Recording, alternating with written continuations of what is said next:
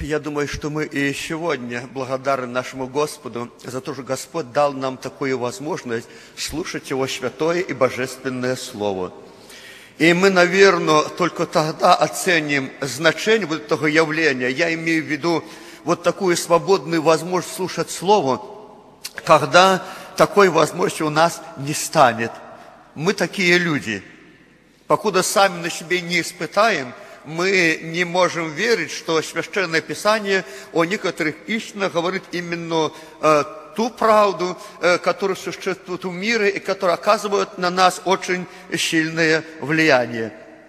Но я думаю, если сегодня откроем сердце для нашего Господа, э, то Он что-то положит в наше сердце, Он чем-то обогатит нас, впоследствии обогатит нашу жизнь, потому что когда мы исполняем Слово Господне, получаем благословение от Господа, и жизнь наша становится насыщенной, богатой, угодной Господу, и нам самим приятной, за что, конечно, мы благодарим Господа.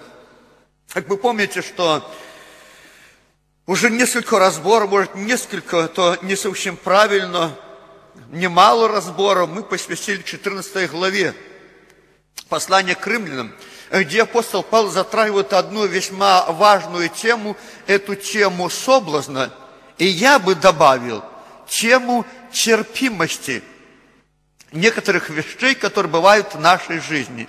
Э, есть некоторые грехи, есть некоторые вещи, э, против которых Господь очень категорично не хочет видеть даже их в жизни на одно мгновение. Вы помните, отлучить, наказать и так далее. Но есть некоторые вещи, которое, с одной стороны, не является правильным пониманием, но, с другой стороны, за это Бог не изгоняет с церкви. И мы как раз об этих вещах и говорили очень долго. Говорили о тех истинах Божиих, которые перед Господом, ну, наверное, разницы не имеют большой. А для нас имеют. Для него без разницы, кто что кушает. Вы помните, мы это обращали особое внимание. Нам же не без разницы. И с одной стороны, Господь хочет, чтобы вы имели полноту всякой истины. С другой стороны, вот некоторые вещи, они человека не лишают благословения. Бог продолжает работать над человеком. Мы иногда, почему на этот момент обращаем внимание? Потому что мы иногда – когда видим, что вот такие второстепенные вещи, э, которые по священному писанию должны отсутствовать, но человек как-то, ну, их носит в себе, то мы тогда готовы перечеркнуть все те благословения, которые Бог дает человеку. И мы их даже не можем не считать благословением. Но, тем не менее, они присутствуют в человеке. И если Бог так поступал, как часто поступаем мы, то, наверное, уже ни одного из нас не было бы в собраниях. Но это не должно закрывать глаза наши на то, если мы в свете Слова Божия обнаружим в себе недостатки. Есть люди, которые в свете Слова Господня видят недостатки, но через то, что их Бог благословляет, они их не считают недостатками. Говорят, что ты у меня требуешь, а меня Бог благословляет. Когда-нибудь такое слышали? Если бы в самом деле было что-то такое серьезное и неприятное, то Бог меня не благословлял бы. А вы знаете, что Бог хочет спасти человека? И я знаю э, по опыту своим, потому что мне приходится очень часто глубоко беседовать с людьми. У них есть такие проблемы, такие грехи, через которые, может быть, и человек, и не считал бы нужно их благословлять. Но Бог благословляет и доводит до такого времени, когда они с ними рассчитываются, когда доносит до сердца, что так не должно быть, тебе должно освободиться от этого. И скажите, если Бог оставил и не благословлял, человек пришел бы к глубокому пониманию, что ему надо освобождаться любыми путями, в виду. Никогда. Человек, которого Бог оставляет – он никогда не будет идти по пути святости и никогда не будет стремиться, э, чтобы расти духовным возрастом. Он просто будет спокойно сидеть, дремать в собрании, Ну, попел, покуда спел псалом, передумал все, что угодно, и пошел он доволен. Но и это еще не значит, что Бог оставил. Может быть, будет момент в жизни, когда Бог очень сильно встряхнет человека обстоятельствами, и он задумается, и придется менять свое мнение и мышление. И, наверное, вот таких оставлюсь людей, наверное, очень мало. И чтобы сегодня о ком-то сказать, даже о самом слабеньком, что Бог оставил, я не могу сказать. Это только Бог может так сделать. Мы же, когда смотрим на человека, несмотря на его падение, на его греховность, мы никогда не должны думать, не имеем права, что Бог его оставил. И говорить об этом никогда не будем. Что можно ошибиться и сделать непоправимый вред. Начало себе, потому что Бог спросит, почему ты так говорил, откуда ты это взял? Откуда такой вывод сделал? Потому что у него жизнь такая. А, жизнь у многих людей, особенно если взять на невидимом уровне, она не та, что надо. Но Бог сегодня не рассчитываться с человеком так, как раньше это делал во время Ветхого Завета. Камнями побить, сжечь и конец положить беззаконию. Вот значит, когда нет человека, говорят, нет и беззакония, правда? Нет человека, нет проблемы. То есть он не Бог так не делает. Он никогда не закрывает глаза на то, что у человека есть проблема. Он не то, что надо перед Богом. Но он его не оставляет, продолжает делать дело, чтобы поставить его на должный уровень, очистить, открыть ему глаза и дать ему полноценную жизнь. И вот как раз вот эта глава, она очень с разных сторон затрагивает этот вопрос. И, наверное, поэтому э, как-то так получилось, что мы уделили очень много внимания, потому очень важное. Если эти вещи не понимать, мы можем и себе сделать большой вред, и тем людям, с которыми мы общаемся. Но все-таки я хочу сказать, что вот здесь рассматривается вопрос. И внимание застраивается на второстепенных вещах, которые особого, особой погоды не делают в жизни человека. И поэтому Господь здесь напоминал каждому из нас, у всех вас есть такие вещи которые с точки зрения Божией не сравнить с тяжелыми грехами, они не, не, те, не те, что надо. Но Господь умещает, благословляет, чтобы просветить человека, и чтобы даже он впоследствии отказался и от этих вещей. А самое главное, вот эти все тексты Писания, они запрещают нам судить других людей. Сказать им – что ты не то делаешь, что надо, мы обязаны. Это две разные вещи. Назвать вещи своими именами и осудить человека. Это далеко не одно и то же.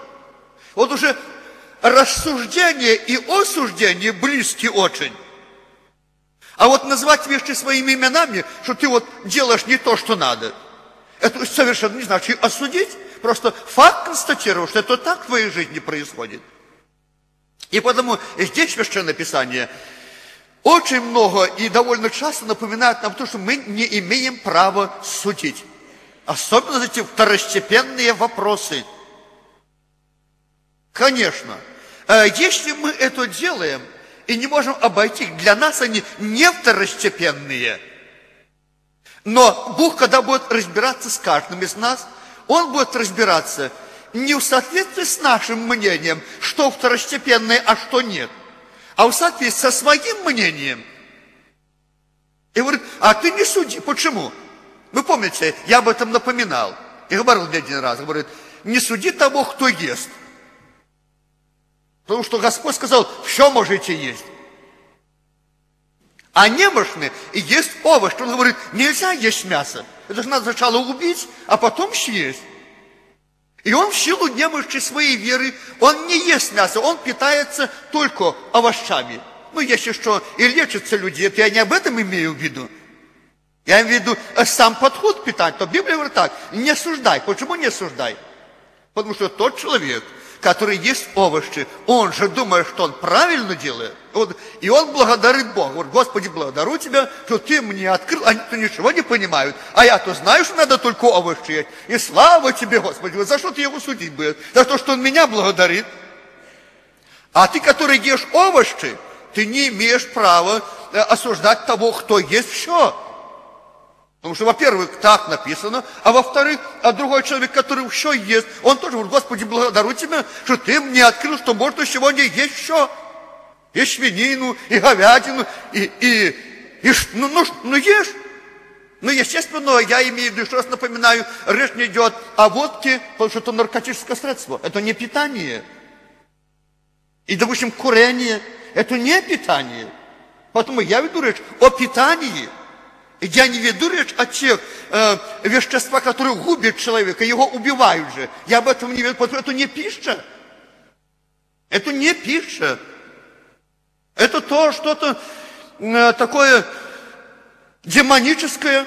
Бог не для этого эти растения создавал, чтобы человек мог в какой-то мере заглянуть в этот духовный мир, который он потерял от того, что с Богом разобщился. И значит, что наркоманы, они ловят кайф, как они говорят. Но, но это что? Это же ненормально.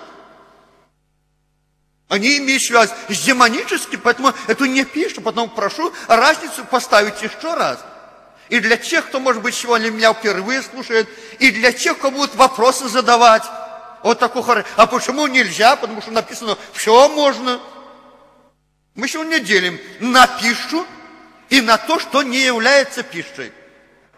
И что никому не надо, а что вообще является врагом для человека. Потому я просто это обращаю сегодня внимание особое. И потому здесь Священное Писание очень сильно настаивает на том, чтобы мы научились говорить правду и в то же самое время не осуждать людей – а говорить им в таком духе, чтобы они могли понять кое-что и обратиться к Богу. Все правильно расставить на свои места. И второе, на что я сегодня хочу обратить внимание. Мы не должны, когда мы служим Богу, или проповедуем, или делаем что-то, думать, что мы одни поселены на земле, и больше с нами никого нет – я поясню, что я имею в виду. Говорю так, «Э, интересно, я тот и тот, являюсь тем и тем, я имею в виду, э, может быть, например, конкретный случай, и я под них буду подделываться, пусть они под меня подстраиваются, я знаю, что то не грех. Вроде бы, вот с такой точки зрения, с неглубокой, но и правда. А что, если он знает правду, то почему э, он должен подстраиваться под кого-то? А Библия говорит, не так. Ты живешь не один. И твое поведение оказывает влияние на других людей, которые находятся рядом с тобою. И ты, когда что-то делаешь, учитывай и их мнение, и их желание, а не только свое. Ты говоришь, ты имеешь веру? Ну, имей ее сам себе перед Богом. Я еще раз прочитаю этот стих. Это очень такой важный стих, потому что в настоящее время, не знаю, откуда это учение взялось, но выражается в чем? А почему мы должны подстраиваться? А почему? Пусть не идут, пусть не смотрят, пусть не слушают то, что я говорю, когда, допустим, там круто или еще что-то, но пусть не слушают. В Библии такого учения нет которая дает нам право делать все, что нам хочется, и не обращать ни на кого внимания. Если в таких случаях не будет промову греха, не будет промову преступления Слова Божия нами, то будет грех соблазна. И это такой грех, которого не избежал никто. Это вот такое явление в жизни людей, в жизни христианства, что его не избежал никто. И даже на Иисусе Христе что было? Соблазнялись. Да, и я не ошибаюсь. И я не унижаю жизнь Иисуса Христа. Он не сделал никакого греха. Он не дал никакого повода людям, чтобы они соблазнились. Но, тем не менее, Библия говорит, соблазнялись о нем. Поэтому, наверное, никто из нас не может стать на уровень Иисуса Христа. Мы иногда и сказать можем, не подумавши что-то, и сделать, может быть, не подумавши что-то. Но в чем заключается цель нашего хождения перед Богом? И если мы дали повод, мы будем отвечать за это. Но если мы не давали повода, а кто-то соблазняется, не переживайте особо. Не переживайте особо, потому что такое явление существует. И я еще раз говорю, что и соблазнялись об Иисусе Христе, потому что говорили, не плотников ли он сын, не его ли мать называется Мария, и сестры и братья не находятся ли между нами, и даже следуют, и соблазнялись о нем. Но он был совершенно не виноват в том, что о нем соблазнялись. Поэтому я хотел бы, чтобы мы сегодня по-особенному обратили внимание настолько, насколько это возможно, насколько позволяет нам наш духовный возраст, не давали повода никому для соблазна. А то, что не по нашей вине произошло, э, будьте спокойны и особенно не переживайте. Почему я то говорю? Потому что очень есть много таких случаев и таких вопросов, которые вызваны не каким-то негативным поведением, личность определенная, но других людей, которые все видят не в том свете, потому что очки у них самих одеты. Потому они и соблазняются. Вы поняли меня хорошо? Так вот, наша цель и наша задача, моя и ваша – не давать никому соблазна и повода. Но если у кого-то он появился, но вы не виноваты, тогда не переживайте особо. Всегда помните, что есть текст Писания, э, который это освящает и говорит так, что для чистых все чисто, а для оскверненных и нечистых что? Для них нет ничего чистого. Почему? Ум осквернен и совесть. Через оскверненный ум, через оскверненную совесть смотрят на всех и все видят в своем свете. Возьмите вы сегодня, оденьте очки красные, и все будет красным, правда? Но, но никто ж не станет красным. Возьмите, оденьте зеленые очки, и все будет зеленым казаться. Хотя, по сути дела, все осталось таким, каким оно есть на самом деле – Поэтому я просто хочу обратить внимание, чтобы мы никогда так не думали и не утверждались на том, что пусть не смотрят, пусть, пусть там много еще что не делают. Библия говорит, имеешь веру, имейте сам себе перед Богом. И следующий пункт, который я сегодня опять повторюсь и заострю внимание. Блажен, кто не осуждает себя в том, что избирает – это уже относится нам, как к личностям, к нам конкретно. Потому что дальше написано, а сомневающийся, если есть, осуждается, потому что не по вере, а все, что не по вере, что? Грех. Поэтому не надо тех людей, я опять возьму пищу, потому что здесь как раз то о пище идет речь. Хотя Павел, внимание, напишет, не концентрирует, он просто такую линию взял генеральную и ее распространяет на многие вопросы. Но взял за основание пишет, что тогда, наверное, было очень важным, особенно когда только что закон был э, исполнен Христом и отменен через это исполнение. Евреи привыкли делить все на пищу чистую и нечистую, и у них проблема была в этом вопросе. Кто говорил особо по этому поводу, не сражайтесь и не воюйте. Вы помните, он однажды сказал так, что говорит, «А, все мы э, должны одинаково мыслить. Но если кто по-другому мыслит, то что? Пока живи так, как твой разум подсказывает, а впоследствии Бог тебе и эту откроет. Но если ты сегодня не имеешь веры, допустим, что можно есть мясо, а будешь есть его, э, то будешь грешником, потому что у тебя веры на это нету.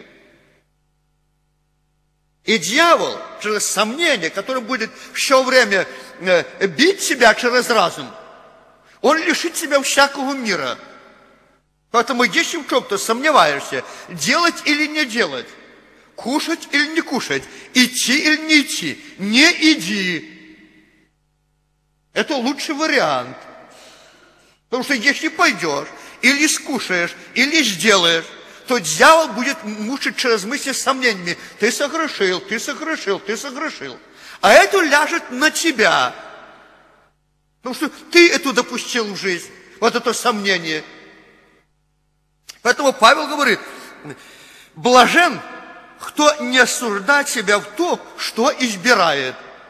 Но опять повторяю, это касается второстепенных вопросов которые не являются фундаментальными, на которые можно не обращать внимания.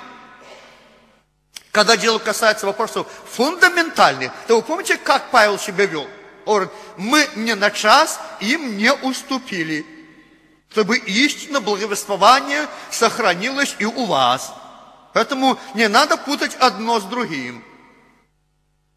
А о том, как это делать, чтобы вот эту истину донести. Вы помните, мы говорили, как Павел делал? С иудеем был как иудей, с подзаконными, как беззаконный, с язычниками, как язычник, но не был чужд закона перед Богом.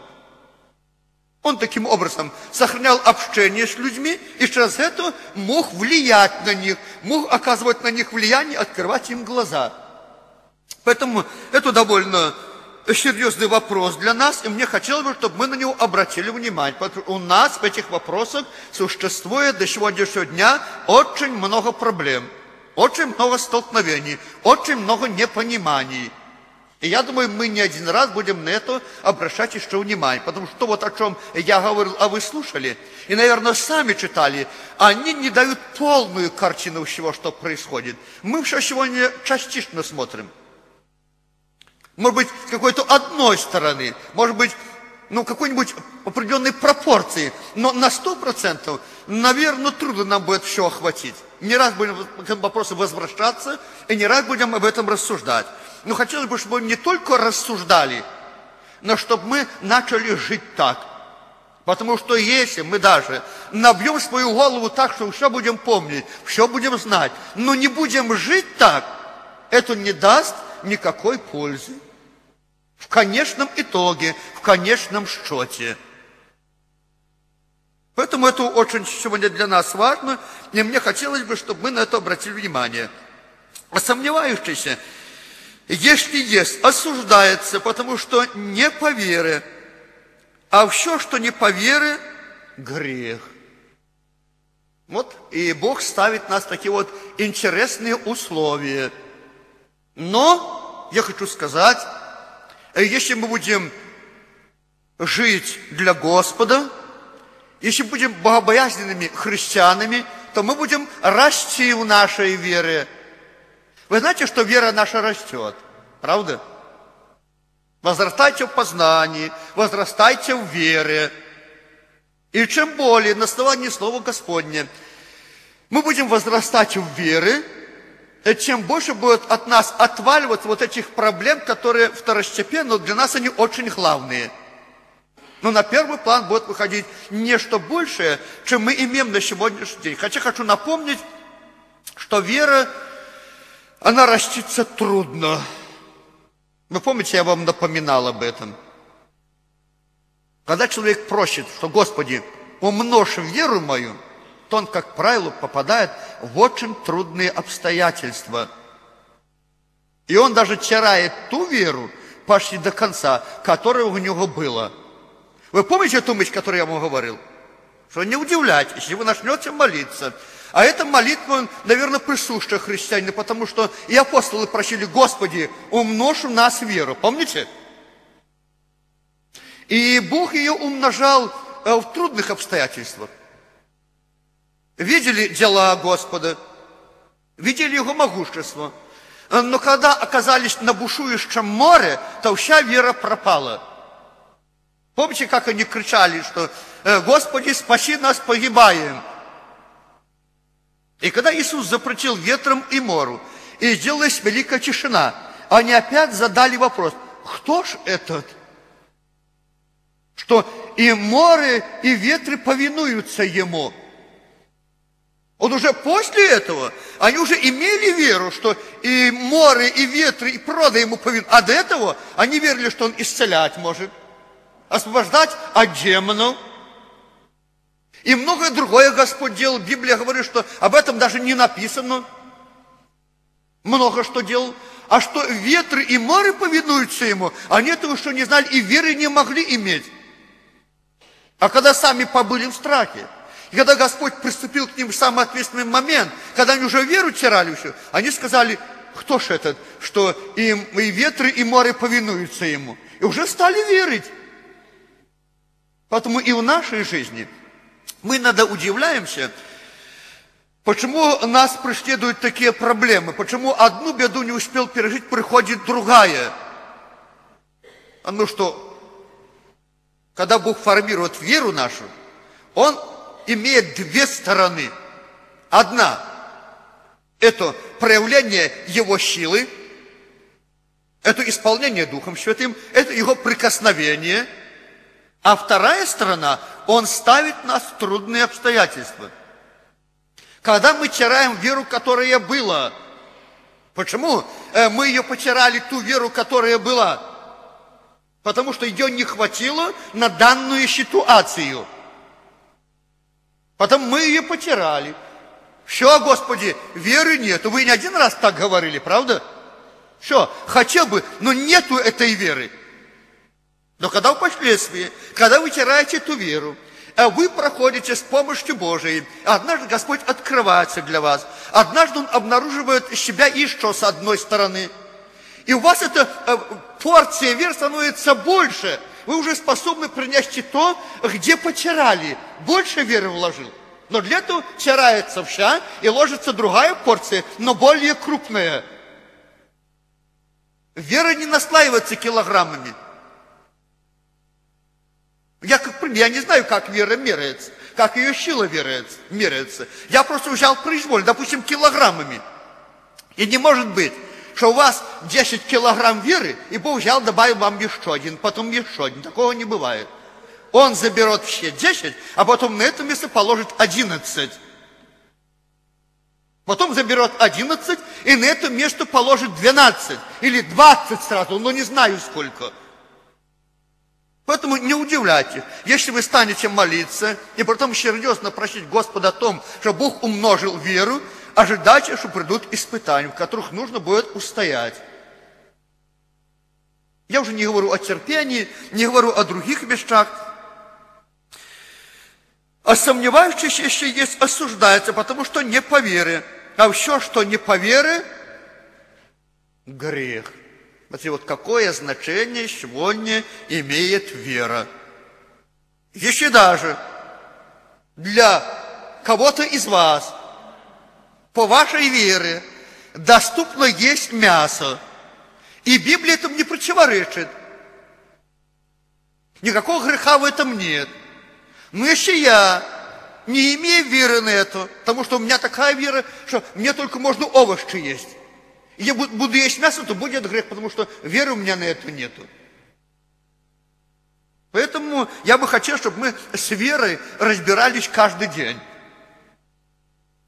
Ну и, конечно же, я, допустим, э, против такой веры, э, которая основывается не на Слове Божьем. Э, Библия конкретно говорит, что в христианстве этого не должно быть. А люди утверждают, а говорят, а у меня совесть, у меня есть вера, что можно. Это уже не вера, это уже обман. Это самовнушение. И нельзя путать веру с самовнушением или внушением. Это две разные вещи. Вы меня хорошо понимаете, о чем я веду речь? Явно читают в Библии, что нельзя. А он утверждает, а меня совесть не сует, у меня есть вера, э, что Бог, но если говорите, что Бог мне простит, есть вера, но, наверное, что полбеды. А когда утверждают, что то можно, Тогда уже совсем по-другому оборачивается вся ситуация, и все дело по-другому выглядит. Поэтому я очень хотел бы, чтобы мы на это обратили особое внимание. Еще раз подчеркиваю, что вера основывается на Слове Божьем. На том, что утверждает Слово. Не на том, что нам хочется. И не на том, что мы придумали. Не на предание какого-то рода. Она основывается на Слове Божьем. Написано. Если мы основываемся на Слове написано, это вера. Если мы не находим, чтобы так было написано, это не вера. Это подделка под веру. Это не вера. Э, берем 24 стих. Э, мы на нем не останавливались. Если останавливались на очень короткое время, могущим же утвердить вас по благовествованию моему и проповеди Иисуса Христа – по откровению тайны, о которой, о, о которой от вечных времен было умолчено. Я почитаю еще 25 стих, потому что здесь одна мысль, но которая ныне явлена. И через Писание пророческие по повелению вечного Бога возвещена всем народам для покорения их вере. Здесь очень ценный стих. Чем?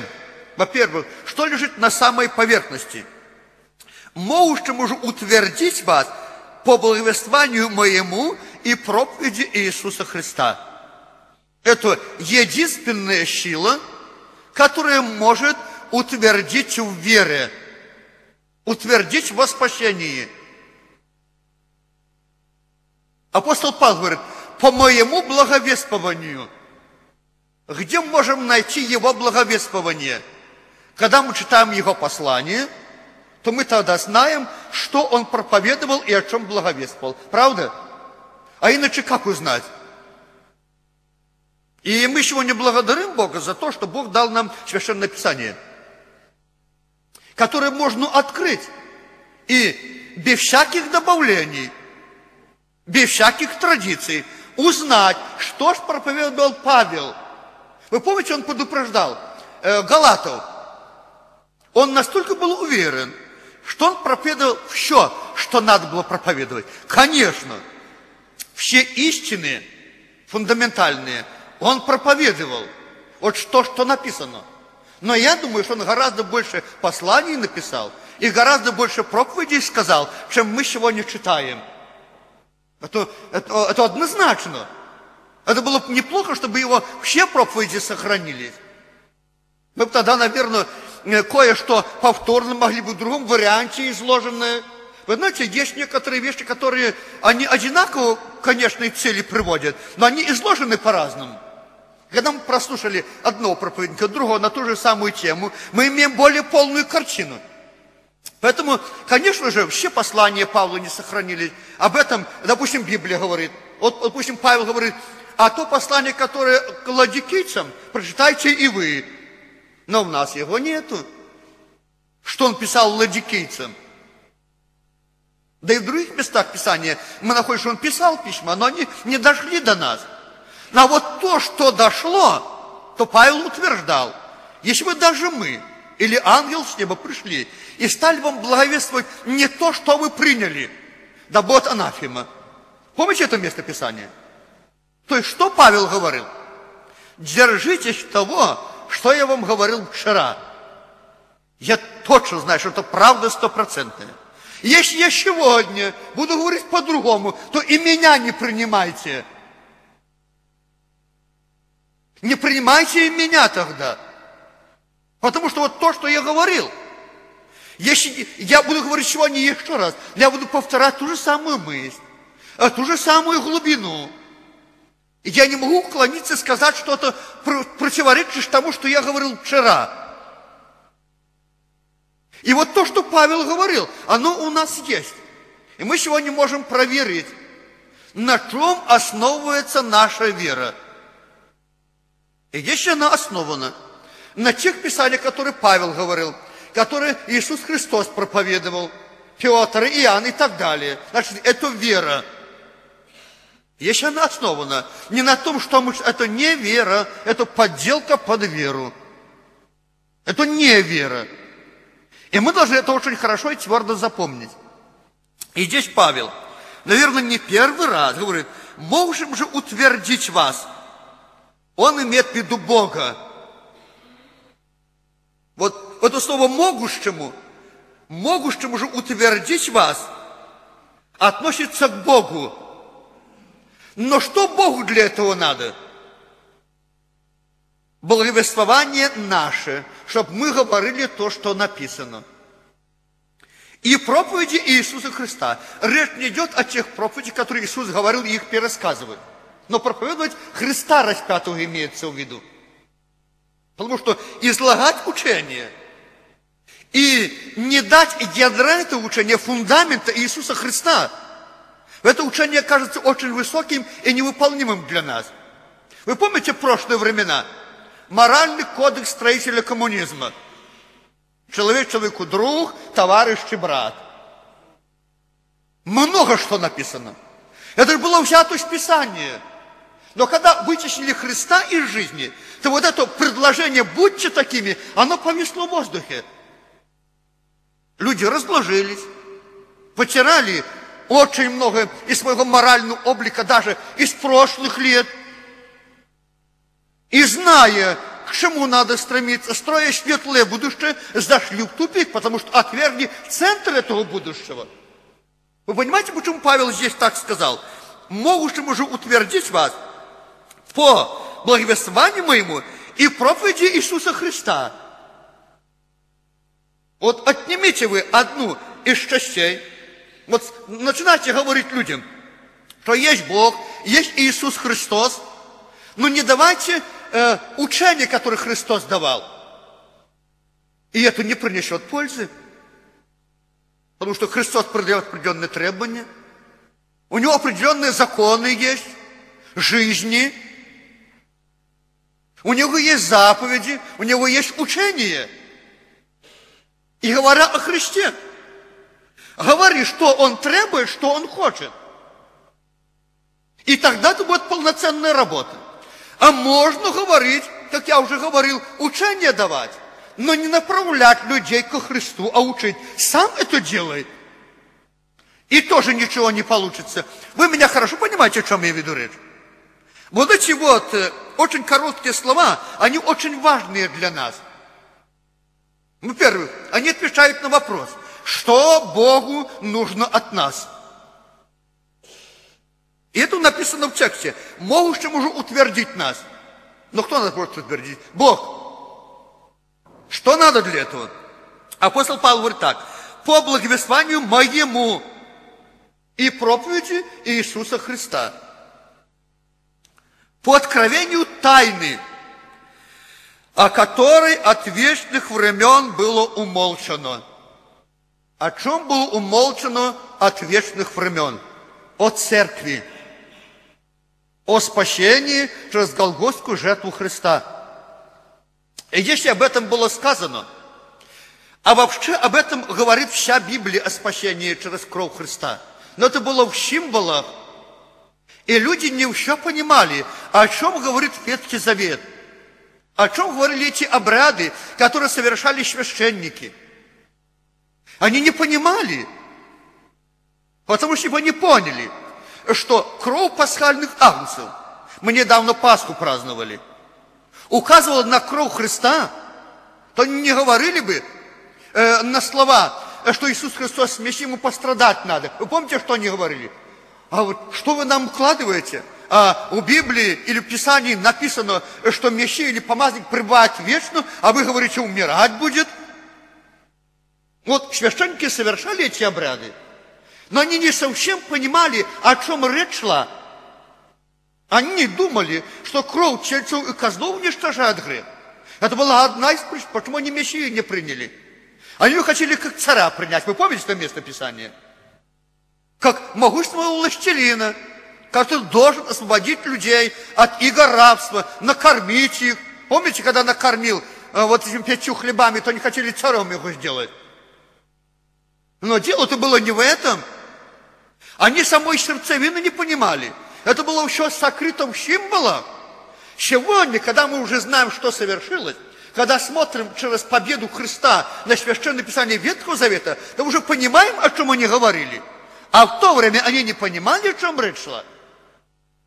А когда Иисус пришел и стал говорить об этом, они это принять не могли.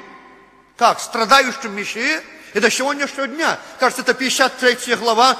Э, евреи не принимаете как главу об Мессии.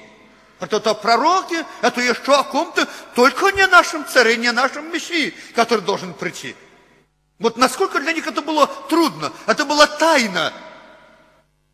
И потому, когда речь идет в Библии о тайнах, есть несколько мест, э, которые говорят о каких-то тайнах, не связанных с тем, что я теперь буду говорить. А вообще, когда мы имеем в виду тайну, речь идет о Церкви Христовой или о нашем спасении – Слушайте, я еще раз читаю. Вот только вот это один стих. Я пока что не буду переходить на другие тексты. Я только беру 24 стих. Еще раз его перечитываю. «Могущему же утвердить вас по благовествованию моему и проповеди Иисуса Христа, по откровению тайны, о которой от вечных времен было умолчено, но которая ныне явлена, и через Писания пророческие – по повелению вечного Бога возвещена всем народам для покорения их вере. А по вере то строится церковь, правда? Спасение по вере э, после Голгофской жертвы Христа пришло. Вообще веру нельзя выбросить со счетов и во время Ветхого Совета. Но там было немножко по-другому поставлено. Там было так. Вер что если ты будешь исполнять закон Божий, ты будешь жить. Помните? А теперь совсем по-другому. По вере ты уже живой, без всяких своих дел. Но если ты живой, то поступай по Писанию, иначе ты просто обманщик. Кажется, я одно и то же сказал. Но это далеко не одно и то же. И через спасение по вере – Поверив в Голгофскую жертву Христа, мы мгновенно при покаянии получаем спасение. И уже как спасенные люди, у которых другие стремления, которым хочется жить чисто и свято. И мы это понимаем глубоко. Мы начинаем жить по Писанию, потому что мы живые, а живые живут. А мертвые что? А мертвые не живут. Им совершенно не надо то, что нужно живым людям – и вот это спасение по вере, оно было сокрыто от веков и родов. И в конце концов, э, когда мы говорим тайна, вы найдете не одно место Писания. Но правда, когда мы говорим тайна беззакония, конечно же, речь не идет о церкви. Или говорим о тайнах, которые на Навуходоносору кто-то должен был открыть. Конечно же, речь идет там о небесном царстве, но не совсем о церкви. Но когда Павел говорит о тайне, он имеет в виду церковь. И когда мы читаем в Откровении Иоанна, когда вострубил седьмой ангел, совершилась тайна Божия, как он благовествовал рабам своим пророкам. Речь идет о окончательном или о последней точке поставленной в строительстве церкви. Совершилась тайна Божия. Совершилась или выросла, или сформировалась церковь Божия. При седьмой трубе при последней, мертвые воскреснут, то есть те, которые шли до нас, но имеют спасение во Христе. А живые в Христе изменятся и будут взяты встречения с Господом на облаках, и там все вместе, как один организм, предстанут перед Христом, как перед головою. Это будет совершилась тайна Божия. Сегодня она в стадии строительства, в стадии совершения – и с одной стороны тайна. Почему? Потому что от вечных времен было умолчано. Но даже сегодня, когда мы знаем, что этой тайной является церковь, она все равно является тайной. Я когда-то об этом говорил. Почему? Потому что было пять мудрых и пять неразумных. Помните? Все они сидели в собраниях, все не пели псалмы, все не молились. Я не раз говорил на эту тему, вернее, я эту тему не разбивал конкретно как тему, но касался ее. И потом вместе уснули, помните? Потом для всех раздался голос Божий, жених идет. И все вместе проснулись. И все вместе поправили светильники. И все вместе пошли навстречу жениху. А уже потом, потом, потом у пятерых начали гасить светильники. Помните? Масла не стало. Стали гаснуть светильники. А с самого начала, как можно было сказать, кто мудрый и кто неразумный? Одинаково вроде все было. Еще раз повторяю, если бы мудрые бодрствовали, а неразумные уснули, сказали бы, ну, ну ясно, они все уснули. И все спали, и все пробудились, и все вышли, и все шли, но пять не дошли. Вот в чем проблема вся. Поэтому мы сегодня никак не можем сказать о ком-то, что ты принадлежишь к пяти немудрым. Тайна. И кто-то однажды очень правильно сказал, я думаю, что это так, что многих из тех, которых мы ожидаем встретить в вечности, не встретим. Не встретим. А многих, кого не ожидали, встретим тайно. Сегодня все стремимся, все молимся. Но, хочу сказать вам, вот эти пять немудрых, на них была их вина была – это было не определение Божие, чтобы было пять мудрых и пять неров. Хочет, чтобы все были мудрые.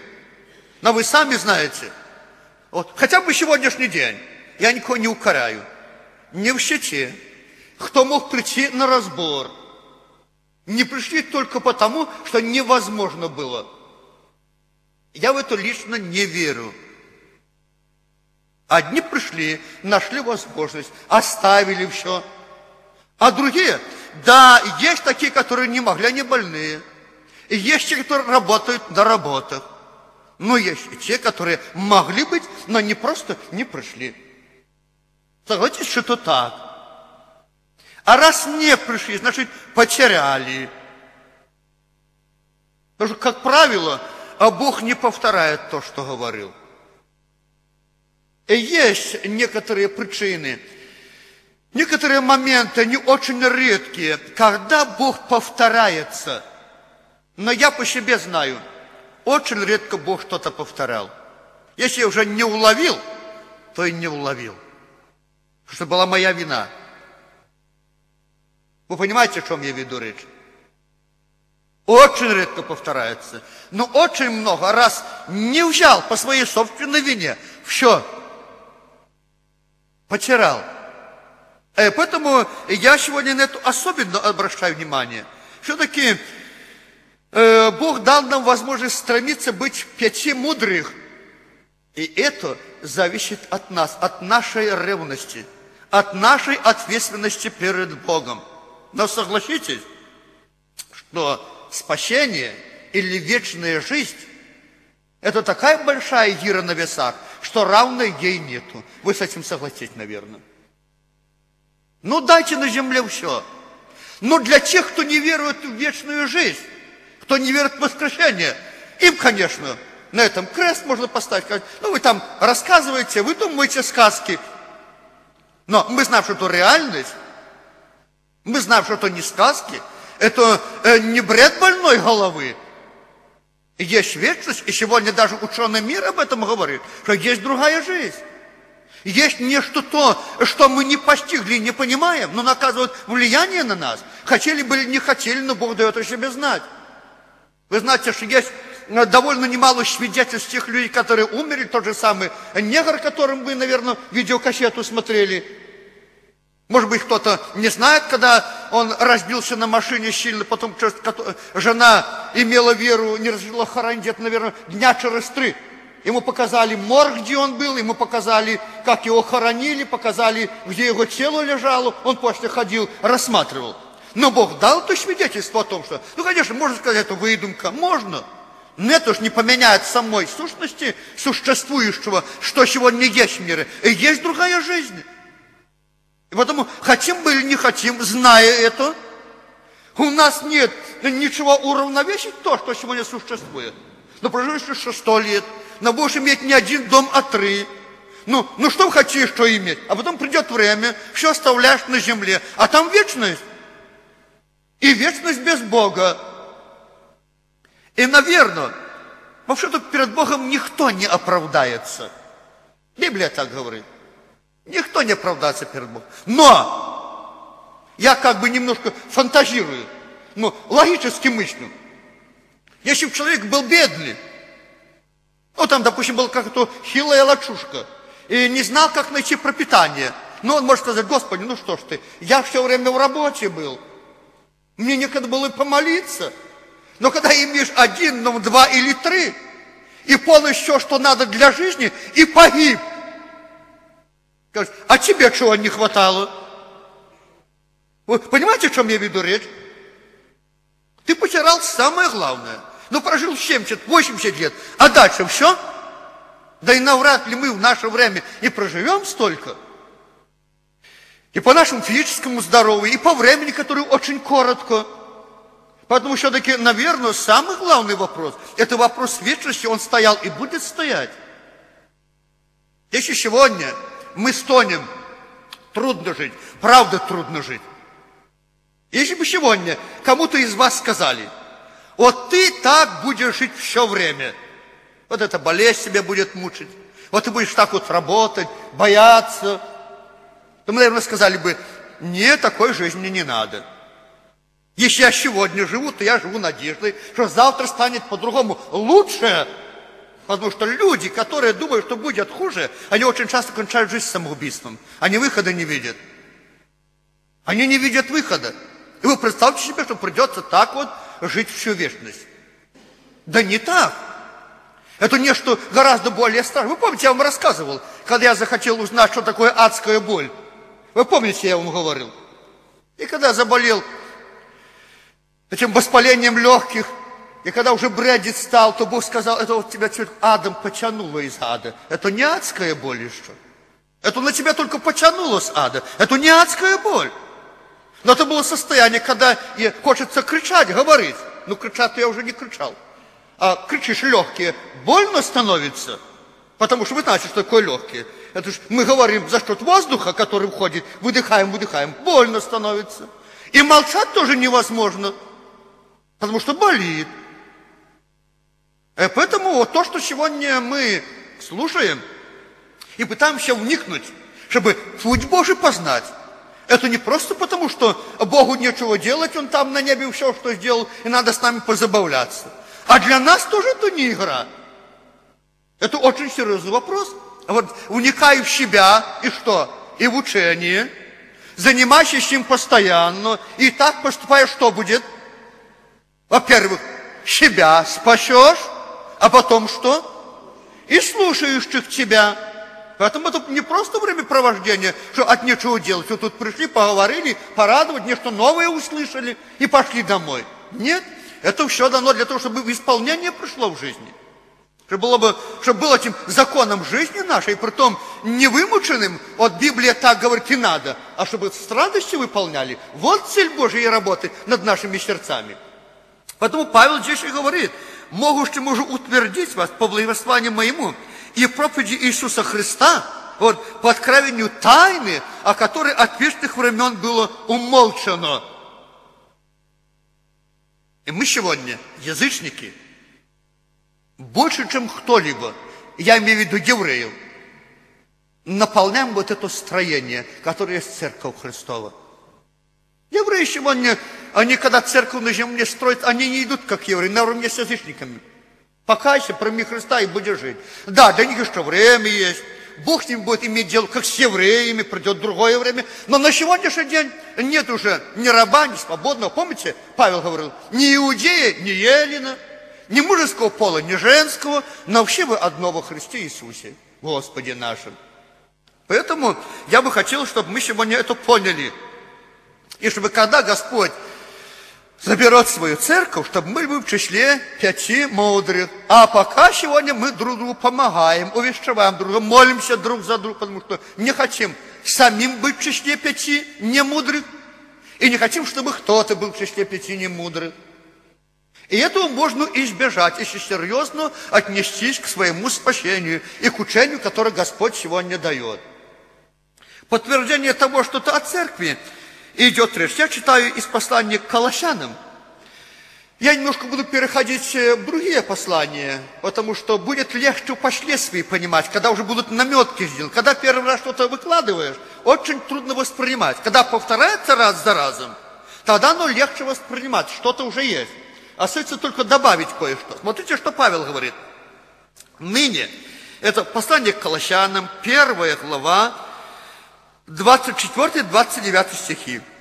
Ныне радуюсь в страданиях моих за вас и восполняй недостаток в плоти моей скорбей Христовых за тело Его, которое есть церковь.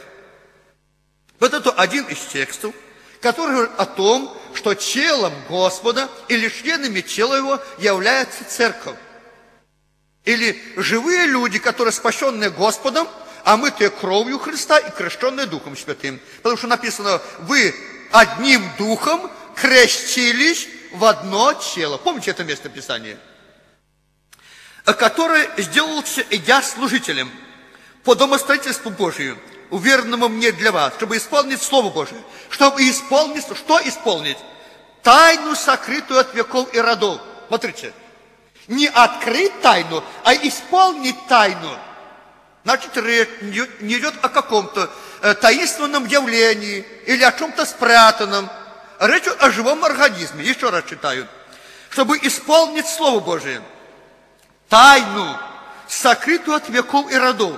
Ныне же открытую святым Его, которым благоволил Бог показать, какое богатство славы в тайне для язычников, которое есть Христос в вас – вот эта тайна есть Христос в вас, упование славы.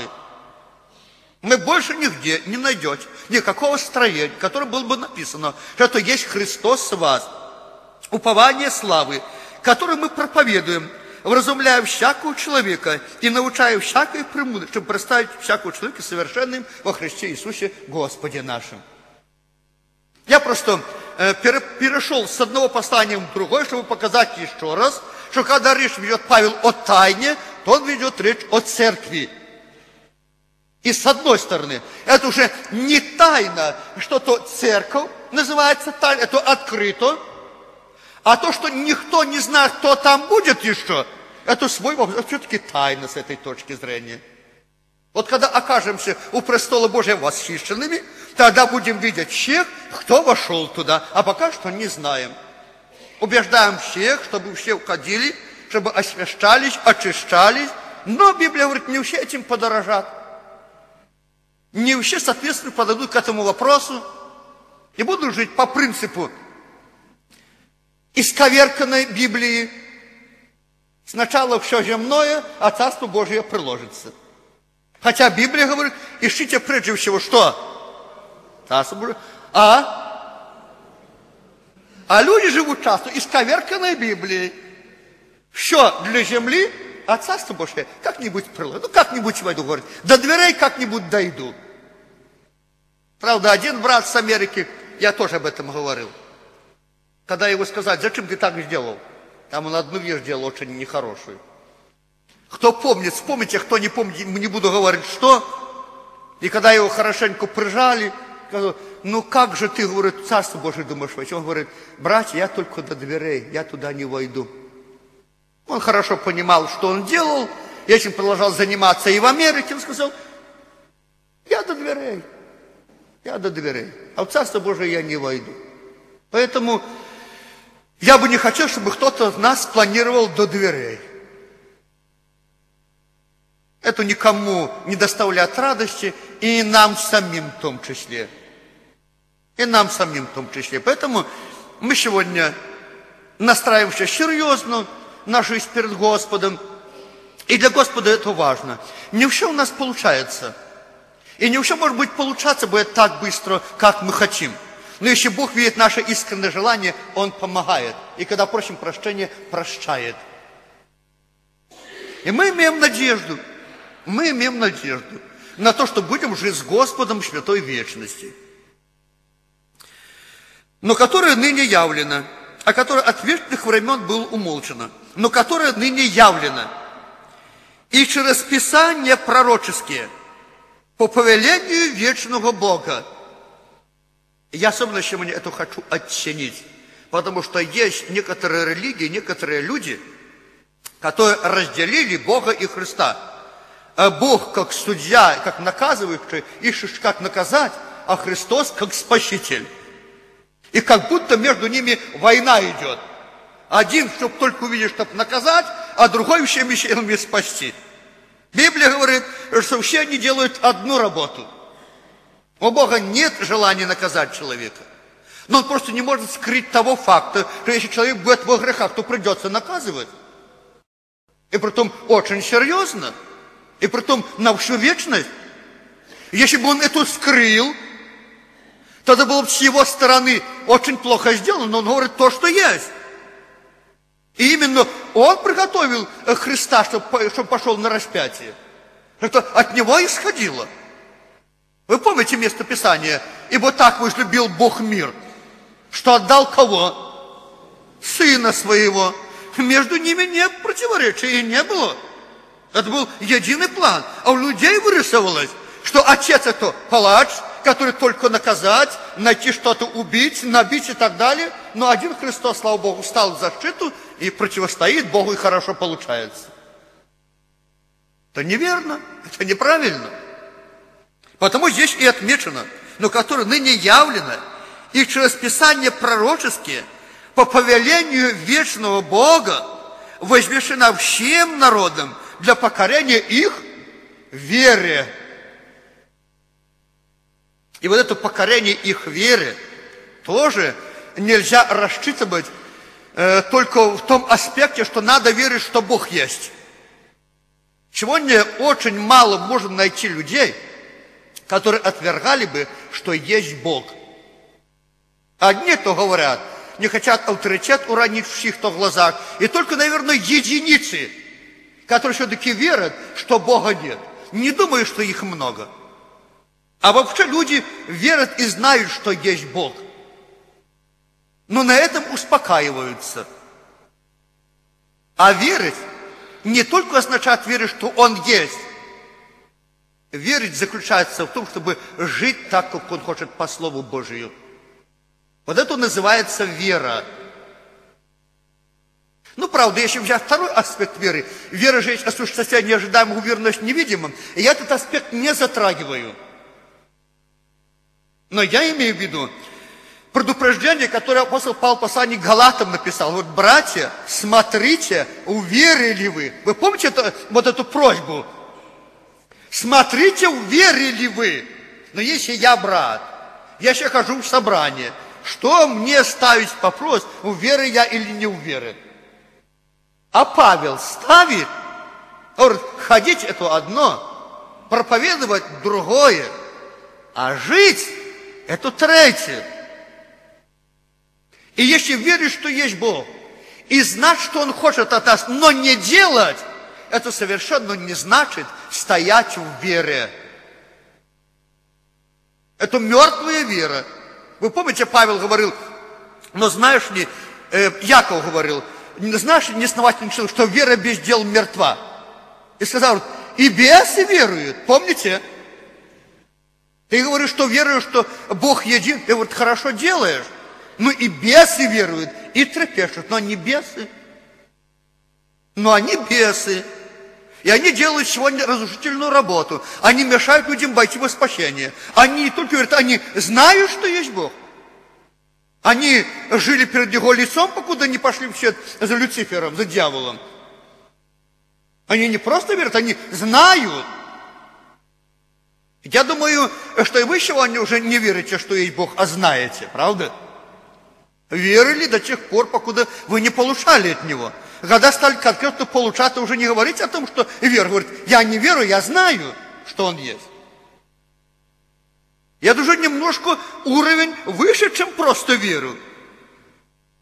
Веру, и когда уже знаю, это уже укоренение в этой вере – и я думаю, что сегодня многие из вас могут сказать, я уже давно не верю, что Бог есть, я знаю, что Он есть. Это, это две разные вещи. Хотя все начинается с веры. Если не будешь верить, то как ты будешь знать? Сказали сегодня кому-то, что сегодня будет разбор слова. Вы поверили? А когда пришли сюда, и он сегодня идет, вы уже знаете, вы уже не верите давно. Как только пришли. Зачем вера, когда вы видите, что он есть? А чтобы сюда прийти, надо было поверить. Чему-то слову, что сегодня будет богослужение, будет разбор слова. Поэтому Павел здесь говорит о том, что вот эта тайна, которая в свое время была утаяна, она через Писание пророческие, повели вечного Бога, возвещена всем народам для покорения их вере. Еще раз очень хочу напомнить всем вам и себе, что значит быть покорным вере. В конце концов, если говорить о конечном результате веры на земле здесь, это жить по Слову Божьему. Значит, ты покорился вере. Если ты веришь, что есть Бог, но не живешь по Слову Божьему, ты просто воюешь с этой верой, а не покорился верой. Вы, наверное, переживали в своей жизни, что значит покориться вере. Может быть, не все. Но я думаю, что есть среди вас такие. Когда вам хотелось что-то сделать, но вы знали, что по вере так нельзя. И вы не делали, потому что вера ваша не дала вам э, не то, что желание, не дала вам возможности сделать это. Вы меня хорошо понимаете? Хочется, выгода. Но знаю, что нельзя. И я не могу. Мне никто руки не связал, мне никто не посадил под замок. Я просто не могу нарушить. Я покорился вере. Если вы не испытывали такого состояния, то испытайте еще не раз. Я бы хотел, чтобы это так было. Иногда у нас борется что-то, потому что написано, плоть желает противного духу, а дух желает противного плоть, они друг другу противятся. Но когда в вашем сердце написано слово веры, оно не дает вам возможности нарушить его. Хотя вроде бы вы свободны. Можете делать, что хотите. Это не страх. Вы поймите правильно. Это не страх от возмездия, которое будет. Вера не дает возможности. Это значит, покорился вере. Не знаю, насколько я доступно смог объяснить, что значит покориться вере. Но я просто должен был это сказать, потому что не все это понимают. И не все это знали, как вера действует. В арсенале веры есть многое. Сегодня очень многие люди под страхом что-то не делают. Но это очень маленькая частичка способностей веры под страхом держать. Там действует другое. Там действует любовь, ответственность. Не животный страх, что накажут. Хотя есть и эта часть. Вы помните, я не один раз напоминал, э, когда цитировал Писание, к одним будьте милостивы с рассмотрением, это слово веры. А других что делаете? Страхом спасайте, исторгая из огня. Потому что есть люди, которые э, э, только страхом можно взять. Один такой пример, может быть, не совсем удачный будет. Но когда я работал в Муроме, э, там был один молодой человек, приходил, мы в столу приходили, и он. Он был немножко не того, с головой у него было ненормально. Ну, в полном смысле слова. Было видно, хорошо, что ненормально. Вы знаете, э, его можно было только страхом взять. Сделать такие грозные глаза и крикнуть. Все, ты больше ничего не брало.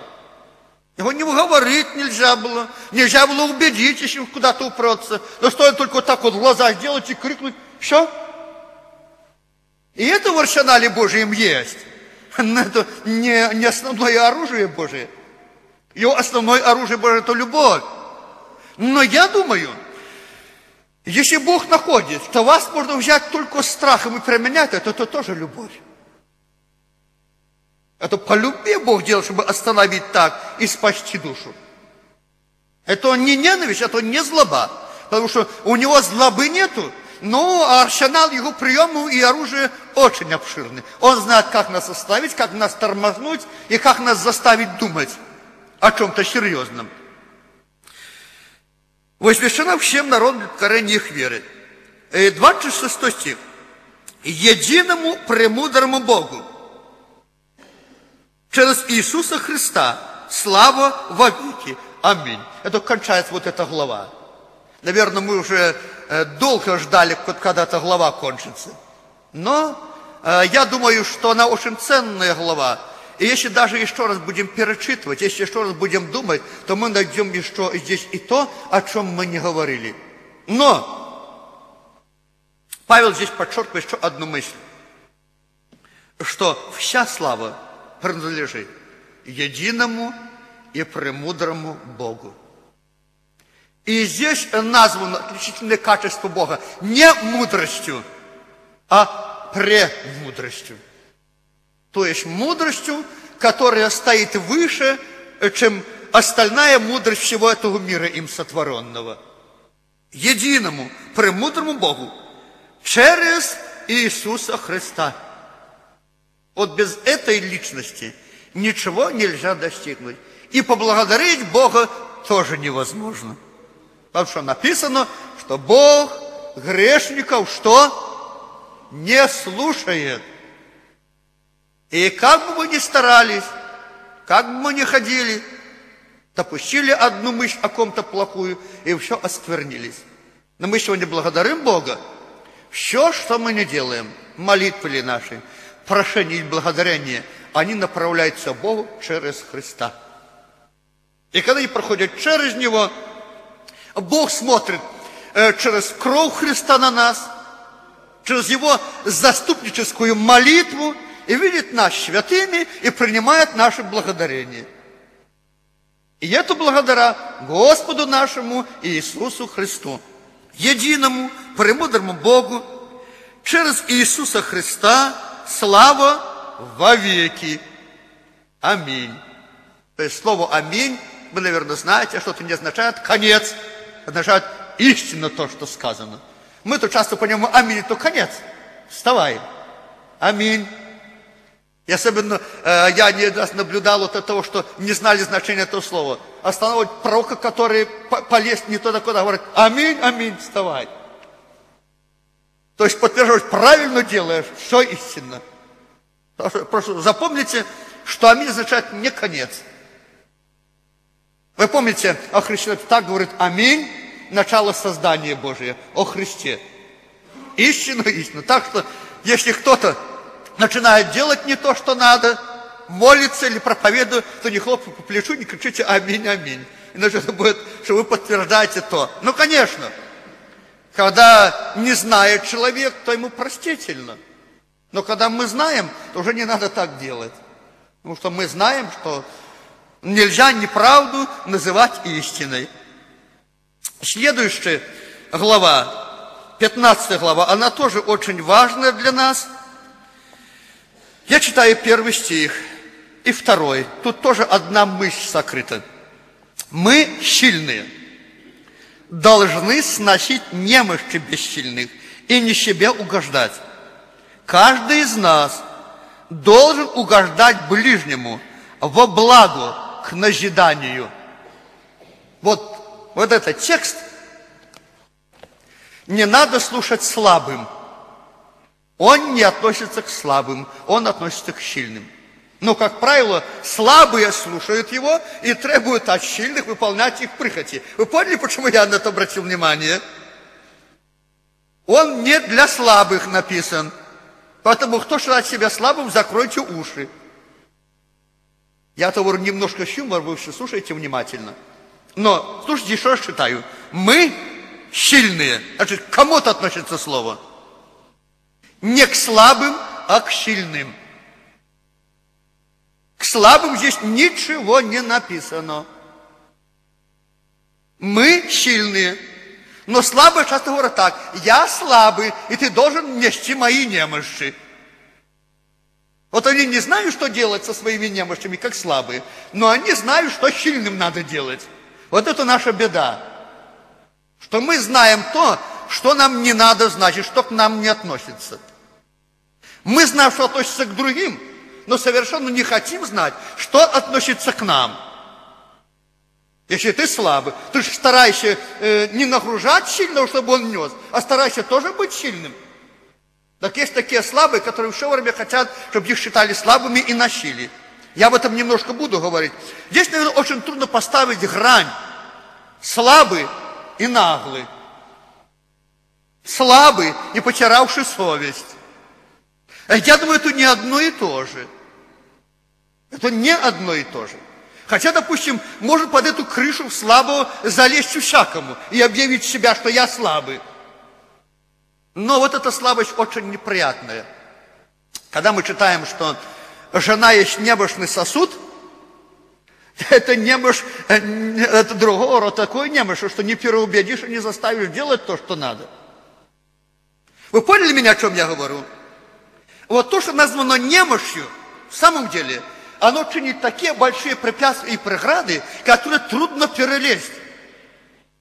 И, и эту немощь, эту не немощь молчать, эту не немощь подчиниться, эту немощь перестать говорить, и эту немощь перестать сопротивляться, вот в чем вся проблема. Почему эти немощи трудно носить? И тут же надо говорить, наверное, не о немощи, а немножко по-другому что-то расставить. И Павел здесь учит. Вот после того, вот он имел в виду, вот все то, что здесь перечислено, о чем мы говорили, это есть немощь веры. Помните, мы читали, из за этого погибнет немощный брат твой. Поэтому не губи свою пищу того, за кого Христос умер. Вот о каких немощах идет речь. Но когда человек упрямый, с одной стороны, это немощь, но с другой стороны, мы же не можем потакать его упрямству. Вы понимаете, насколько здесь вот не просто иногда разобраться, о чем идет речь, о чем Павел говорит. Если бы это было так, э, то не было таких советов, как запрещай, увещевай. Тут уже дело не в немощи. Тут, наверное, надо по-другому состояние человека назвать. Или это упрямство, или это что-то другое. Но Павел и эту сторону не обходит. Мы сильные должны сносить немощи бессильных и не себе угождать. Это продолжение темы. Нас иногда смущает что? Разбитие на главы. И как-то у нас уложилось в голове, если наша голова, голова кончилась, значит, кончилась и мысль. Но на самом деле Павел на главы не разбивал. Он писал письмо. Одно вытекало из другого. Одна мысль дополняла другую. Поэтому вот это 15 глава, это продолжение 14. И Павел говорит, что мы сильные должны сносить немощи бессильных. Вы понимаете, что такое должны? Если было написано желательно, мне бы очень хотелось. Вот там люди говорят, что неплохо было бы это совсем по-другому звучало бы. А вот слово «должны», вы представляете, что такое «должны»? Хочешь или не хочешь? Но ты должен согласиться с тем, что надо сносить эти немощи. Потому что это немощь. А, вы помните, приведу один пример из Писания.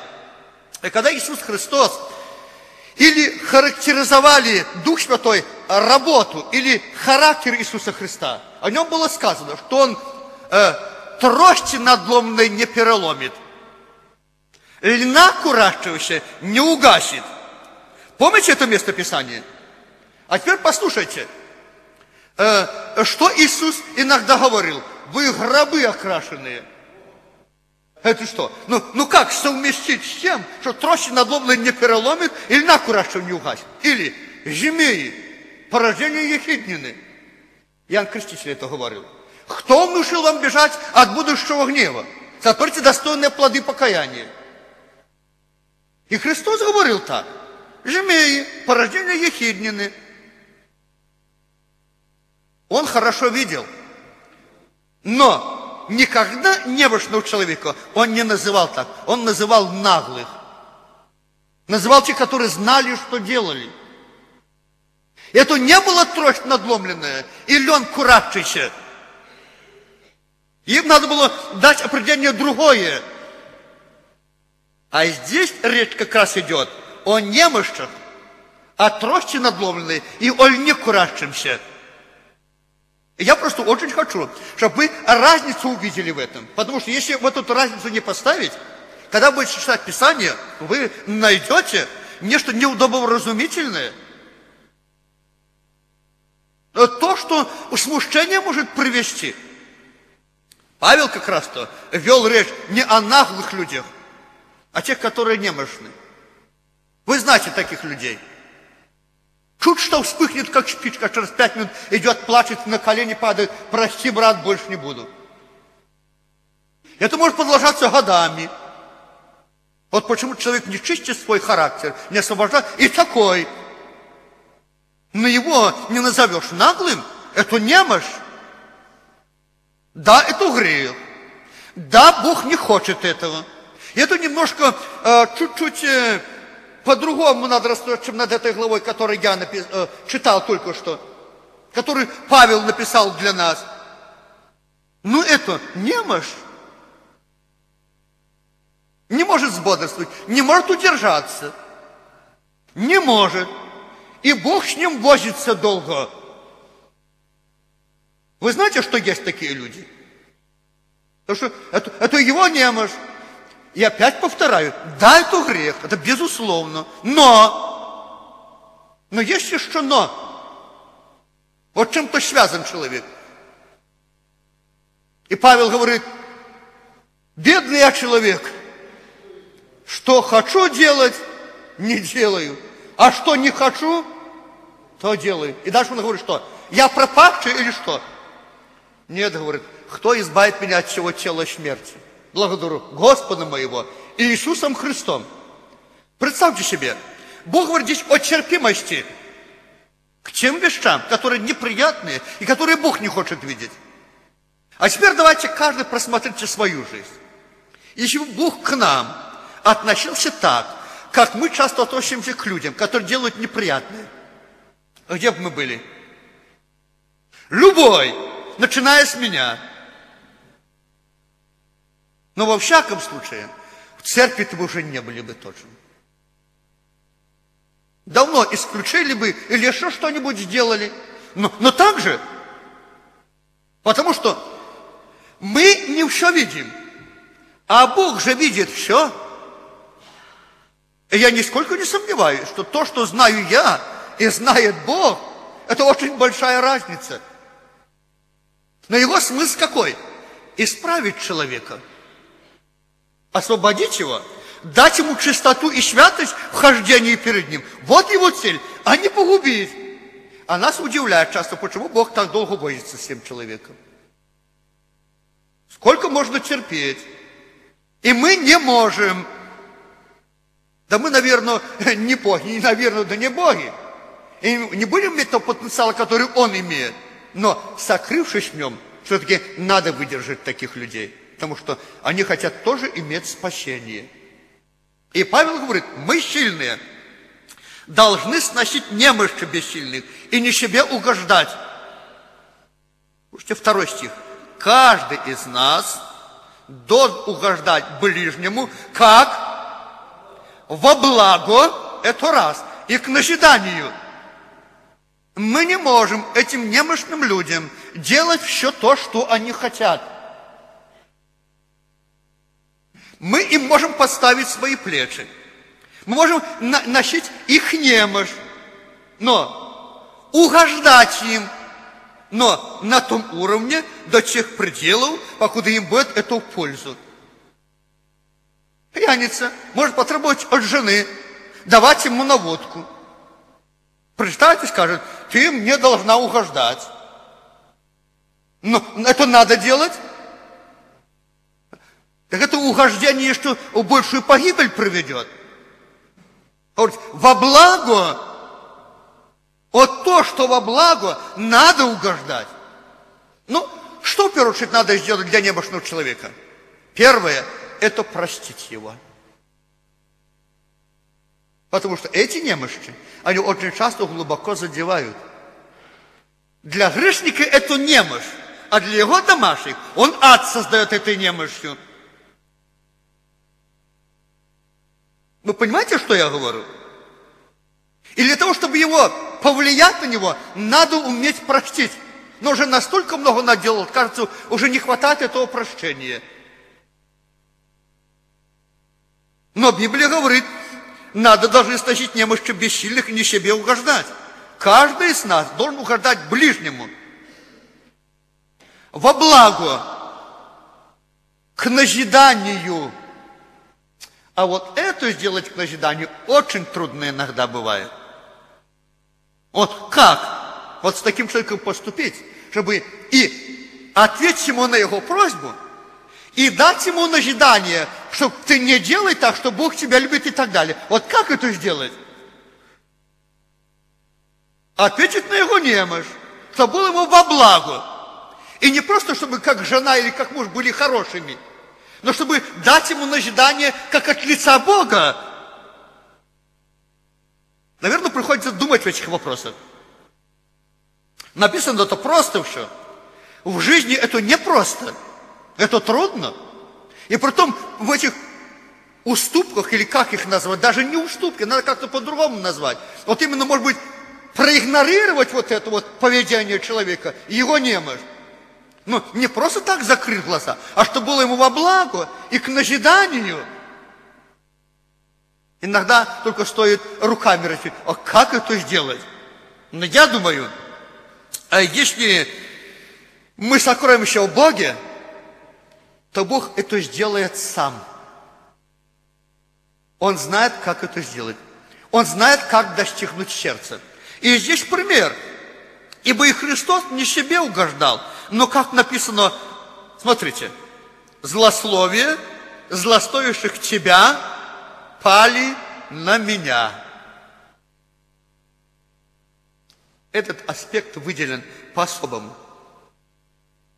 Когда человек немощен, то эту немощь видят многие. И как непросто, если то немощь жены – взять мужу на себя то, что и оправдать как-то невозможно.